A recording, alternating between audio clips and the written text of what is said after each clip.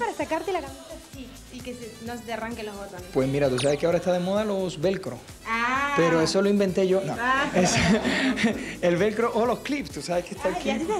Claro. Así esperando. Wow.